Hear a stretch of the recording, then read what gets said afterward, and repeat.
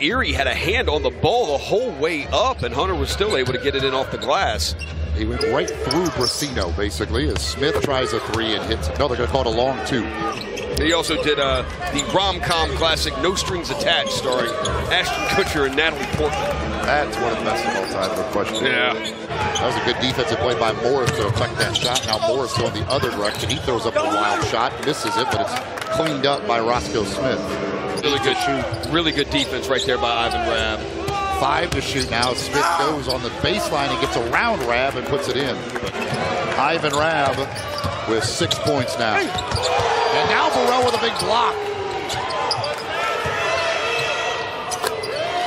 And then the three is knocked down. I, I believe he is a hustle fan. Yeah, he is. Because, I mean, when the hustle had the ball down earlier, he was yelling at the Erie players to get away from them. And if he doesn't get that high off the glass, Smith is going to reject that.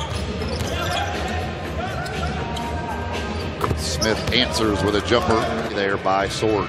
Yeah, Sword was all over them right there. I, that, that, that was a tough pass by Marcus. And in transition, Smith hits the three. The hustle have been outscored by five points, I believe it is now by their opponents, as Putney gets another bucket. But he is not as strong as Trell. 50 bench points now for the hustle. As Roscoe Smith, speaking of the bench, five. That's the last five from him. And that's five Memphis players in double figures. Meanwhile, Roscoe Smith just keeps doing his thing with 25 now.